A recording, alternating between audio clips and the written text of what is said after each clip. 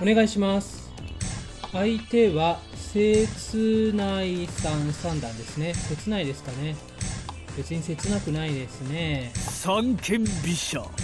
えー、切ないというそのこの言葉っていうのは何を表すんでしょうね。えー、これは端歩を突き越して。ん？そこで考えんの？片じゃあ穴熊やればいい学じゃんうん。身の囲い穴熊一択でしょ俺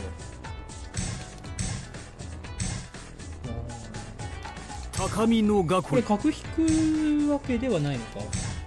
まあ角引いたらちょっと一回飛車をね。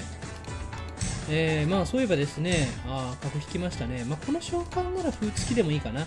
8六歩同歩同角。これはですね4五歩とついて3三銀と引いてもらって、まあ、これは4枚穴熊に組んでいただくと。まあそういう形ですね。これでも桂馬出てくるかな。7三あー2分30秒。うーん。まあ5五歩とやりたいような気もするけどね。まあ7五歩なら構わず取り込んじゃって楽7六歩5五角で結構相手が応手に苦しむんじゃない同角でどうですか？あーそあそうですか。これたらしの歩とかないかな？ちょっと時間をね気にしないといけませんね、まあ、これ5二飛車と回るとやっぱり9一角成なんであ金で受けるんですね、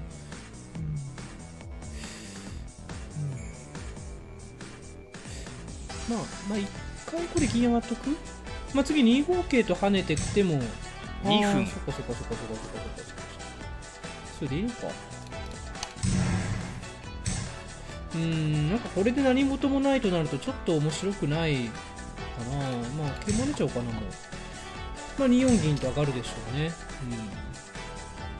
うん。まあもうここはもうこういう感じでねもう中央から行くかまあ次5四歩とまあでもそうだな。うんまあ次こそ5五歩とこれで合わせていくみたいな同歩同銀みたいな感じ。悪くないあこれも取り込んじゃいますね。うん。取り込んじゃってお取り込み中でこれもう一回こう上がったらどうする？てかそんなこと言ってる間にちょっと相手の方が時間持ってる。あーなるほど1ね分30秒。これ取り込みですね。あー。これ6三歩成同金これもうこれでいいんじゃないのこれ。で同金に角なって次8一これもうこうやってさあーこうやったら叩きの歩。これ厳しくないですか？同飛車は6三馬ですし同金もうーんまあいいやこの辺筋ですかね。なんとなく筋っぽい感じがするのでただまあこれ同歩と取られた時にどうかあこれはもうこれですねまあこれ飛車成って勝負になるのかでも飛車成るとでも4三歩成なんでねでも4三歩成でまあでも5八とで勝負ってことかあー1分あ、やべえ、どうしよう。一回受け、あ、一回受け、あ、でも打たないのか。いや、もう端歩いっちゃえ。もう時間ない、時間ない、時間ない、時間ない。やばいやばい、時間ないよ。もう端歩いっちゃえ、もう。とやらしく、やらしくやっていかないとね、勝てないんで、もう時間もないのでね、桂馬打って。ただこれ5八とが相手の切り札的な感じに、まあでも、逃げて大丈夫か。えー、なんかよくわからない。あ、これ今、同飛車でもよかったかな。取るうーこれも取っちゃいましょうで時間もないのでねこれ多分同香でしょうねで桂馬打ってまあ金銀取られますけど同金でなんかいきなり破れになってますけどあーあーこれはあどうしよう。あでまあ金ですか。でこう取ってさらに打っていってまあこれ4七歩成になっちゃうか。あこれやばいか。あでも1二歩でどうですかね。これ同玉あー逃げるんだ。うーん。30秒。あやばいやばいやばい。あーこれなんか積んでるようにも見えなくもないけど積んでないのか？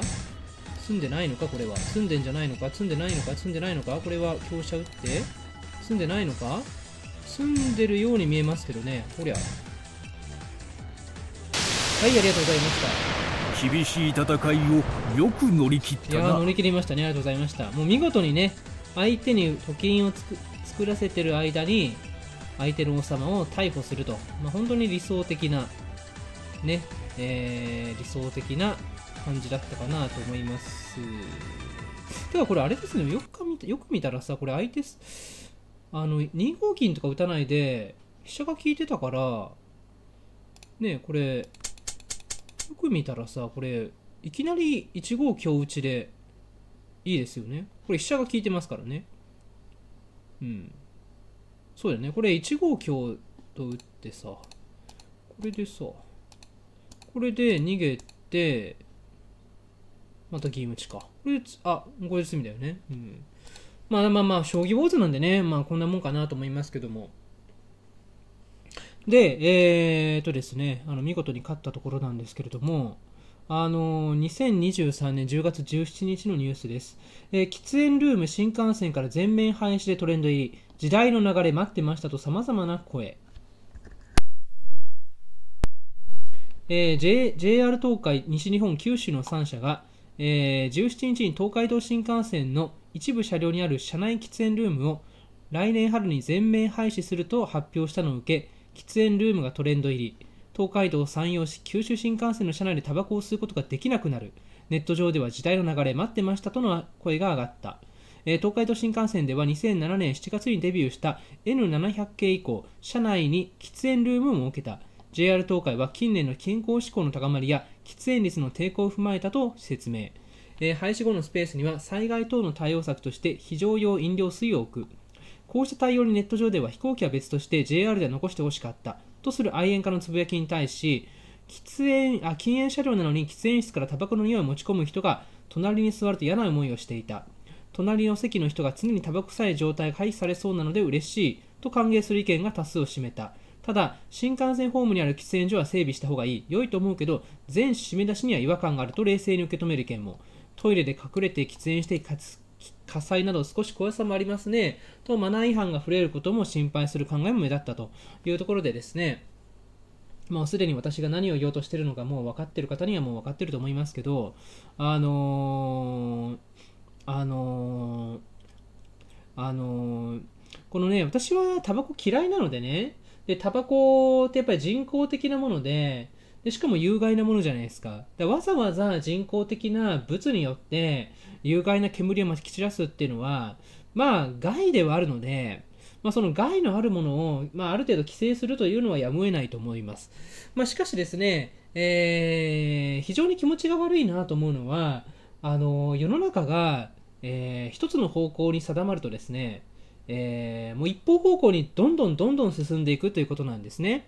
えつまりさ、まあ、時代の流れだなんて言ってるんだけど、その時代の流れって言ってもさ、その時代の流れ、それでいいのかっていうふうにさ、顧みる間もなく、もう日本人ってさ、もうこっちの流れだと決まったらさ、もう極限までさ、その流れにさ、流されていくじゃないですか。今さ、喫煙することは良くないこと、まあ、タバコっていうのは良くないもんなんだと。タバコ吸うやつは敵なんだと。ね。まあ、公衆衛生的な敵みたいな感じで、えーそれでこう、締め出していくっていう時代の流れなんですよね。うん。で、それがですね、もう、どこまででも行くんだなっていうのが、私は非常に気持ち悪いなと思ってます。うん。で、自分自身はタバコ吸わないし、タバコ大嫌いなので、えーこういうのはまあ嬉しいといえば嬉しいですよ。確かに、その、禁煙車両なのに、喫煙室からタバコ臭いのを持ち込む人がいると、まあ嫌な気持ちになる。それはよくわかります。うん、本当によくわかる。ただ、その、タバコは別に法律で禁止されてるわけではありませんし、えータバコ吸うこと自体が違法行為ではないわけだよね。で、その中で、えーやっぱりさ、嫌な気持ちになるってそれはあるけれども、でもさ、自分と価値観が合わない人っていうのはいるいるいるわけですよ。で、あの、ちょっと嫌な気持ち、その他人の振る舞いによって自分がちょっと嫌な気持ちになるとか、そういうのをさ、全部良くないって言って排除してしまったらさ、もう本当にもうすごい抑圧社会になっちゃうんですよね。だってそれそうじゃないですか。一人一人さ、別々の人生歩んでるわけですから、その自分がね、何も意図しなくても誰かに不快感を与えることはあるだろうし、何の悪気もなくても誰かがねあのーいることによって自分が嫌な気持ち例えば汗臭い人とかどうなんですか？とかね。うん。タバコはわざと吸うから良くないって言うかもしれないけど汗臭い人だってさおい汗くせえんだよ。汗臭いやつ新幹線乗ってくんなよとかさ言い出して汗臭く汗臭い人は不愉快なので排除するべきだとか言い出したらさこれどうなんですかね？うん。いや汗臭いのはしょうがないじゃんって言うかもしれないけどいやシャワー浴びてこいよって話じゃないですか。うん。シャワーにも入らないお風呂にも入らないで新幹線乗ってるやつは迷惑行為なんじゃないですか？違いますか？そうなんですか？うん。あるいは、えー女性のマニキュアとかねあのえー例えば車内で化粧をする女性がいるとかね。で化粧をする女性がいると、まあ、男でもいいんですが嫌な気持ちになる気もっていう人はそれわかるよ。でもだからといって化粧をさやめさせるべきなのかって言ったらそれまた別問題であのーちょっと嫌な気持ちになるけれどもだからといって、えーちょっと嫌だなっていうのを全部排除していくっていうそういう社会が果たして健全なのだろうか。ね。えー自分は誰にも不快感を与えていないというふうに思ってるかもしれないけれどもいやそれは思い上がりというもので、えー誰も何も言わないけれども自分が普通に暮らしてるだけで誰かが不愉快に感じることはあるわけですよ。うん、でちょっと不快だなというものを全部排除していくってことは、えー巡り巡って自分も排除されるってことになるんだとそういうふうに考えてほしいんですよね。うん、だから喫煙、えー喫煙だもともとは新幹線は、えー禁煙車喫煙あでももともとあれなのかな？もともとの、ね、昭和の時代の電車なんてさ喫煙ですらなかったのかな？だから通勤電車でもタバコ吸えるみたいな。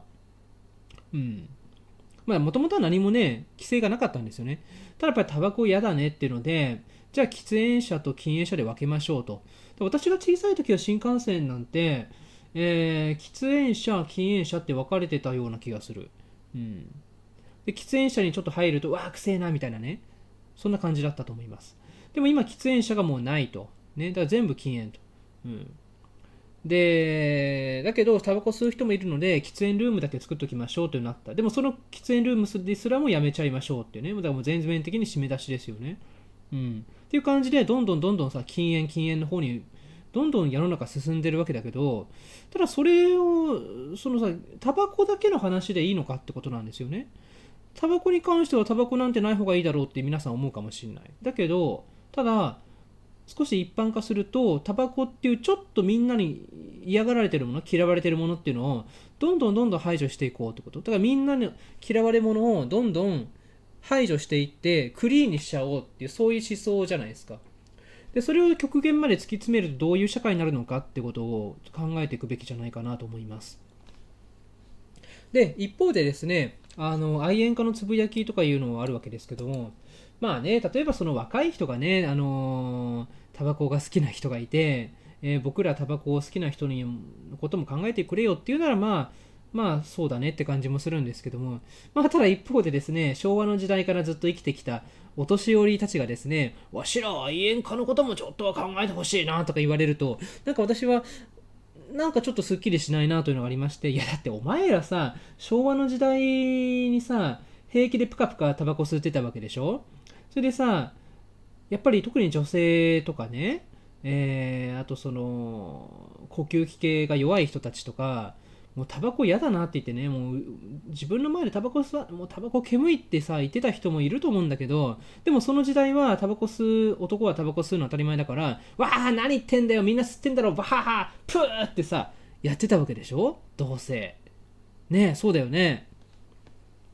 あのー結局さ愛煙家のつぶやきって言ってもさあのーまあタバコ嫌いな人に対してなんのさなんの何にも思い寄せることなく、えーみんながタバコ吸ってるからいいじゃないかっていうのでタバコがあい、まあ、タバコ吸が嫌いだという人がいること分かっていても、まあ、その人の目の前で平気でタバコを吸いプーって煙吐いてさわーでしょ？昭和の男たちってこんな感じじゃないですか、うん、でそういうことをやってたらさねあの恨みがたまるに決まってるわけですよ。うん。や別にさタバコ吸うこと自体は違法行為じゃないからタバコ吸ってもいいんだけどでも目の前の人がさ多分友達でも家族でもいいんだけどタバコが嫌いだということを言っててそれ分かってはいるのにんなこと言ったってよみんな吸ってるしよって言って平気でタバコプカプカ吸ってふーなんてやられたらさなんか嫌がらせされてると感じるのも無理ないよね。でそういうことを時代の空気というかあみんながそれみんなみんなそんなもんだからっていうのにかまけてやってたわけじゃないですか。でそこで恨み溜まってたと。でその恨みが今爆発してるって考えたらさ因果応報なんじゃないのってちょっと言いたくなるよね。うん。だからあのーやっぱり常にあのーやっぱり自分なんていうのかな別にその配慮しろとかいうことじゃなくてあのーやっぱりえーそれぞれ、えー望んでるものは人によって違うっていうことうん、そして守るべき一線っていうのはどういうところなんだろうとかね、えーまあタバコをだから吸うのも一つの権利とみなすこともできるかもしれないけど、えーしかしタバコというのは人工物ですしあの自然なものじゃないよね。その生まれた時から、えー本能的にタバコ吸いたいなと思って生まれてくる子はいないわけですから後からできたものですよね。でそういうものをそういう人工的に後から出てきたじ有害な物質というのを吸いたくないという人もいると、うん、でそういうそのね有害な物質を自分の目の前で吐き出されたくないという人でそれはどうなんだろう？例えばそのタバコの煙をね、えーぶつけることは暴力なんだろうかとかね。どうなんだろうとかさ。その辺とかもさもうちょっとその時代の流れとかいうふうにこっていうふうにあのごまかすんじゃなくてあの考えていくべきじゃないかなと思います。うんでそういうふうにしないと、えーただただ時代の流れに合わせてどんどんどんどん暴走してねあのー行くっていうだけでさ、うん、なんかそれではあの健全な権利意識であるとか、えーやっぱり成熟した国家にはなっていかないよねと私は思ってます。えー以上です。ありがとうございました。